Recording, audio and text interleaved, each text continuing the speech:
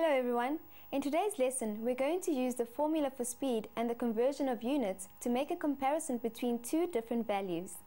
We will compare the speed of the 2013 world record holder in the 100 meter sprint with the fastest antelope, the Tsessebe.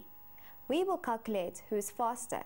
The world record in 2013 for the 100 meters is 9,58 seconds. The Tsessebe can run at 70 kilometers per hour. We know the time it takes the world record holder to run 100 meters, but we don't know his speed.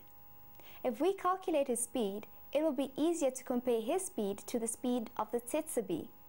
The formula for speed is distance divided by time. The runner covers a distance of 100 meters in 9,58 seconds. The Tsessebe runs 70 kilometers per hour. Before we calculate the runner's speed, we need to change the units to kilometers and hours. There are 1,000 meters in a kilometer. To convert meters into kilometers, we must divide by 1,000.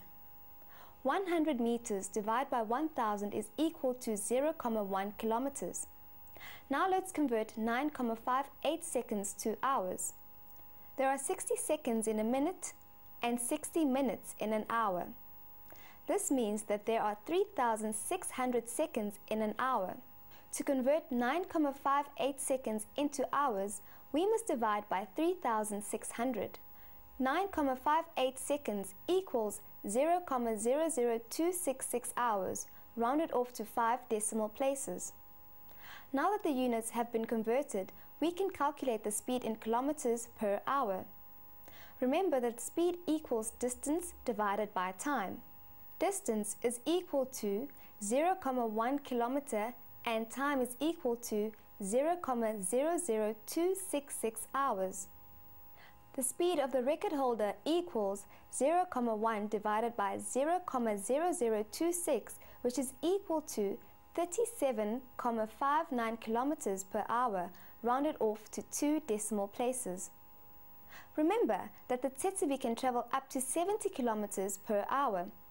That is almost double the speed of the world record holder the Tsessebe is much faster than the fastest person on the planet. Thank you for joining us.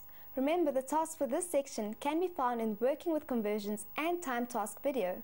You'll also be able to learn more about measurements on our website www.mindset.co.za forward slash learn. Goodbye.